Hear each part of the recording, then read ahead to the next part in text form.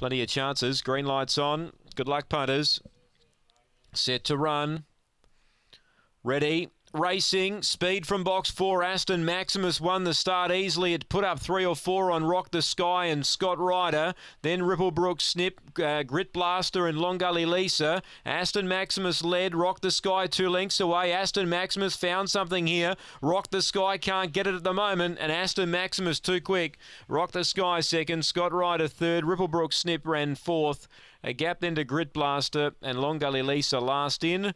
And Aston Maximus has run around 1950 for Matty Payne, continuing his good run in the recent weeks. Picks up the cash in the last, seven second Rock the Sky. And five third Scott Ryder. They were the three favourites. Four, seven, five. Two got fourth Ripplebrook Snip. It was the fourth pick in the market too. 1950 the Gallop. So uh, four, seven, five, two on the last here at uh, Angle Park. A length and a quarter the winning margin by four and a quarter. And Matty Payne, who had a double last night at Gawler, picks up another winner here tonight at Angle Park. 4752 on the last here from Angle Park.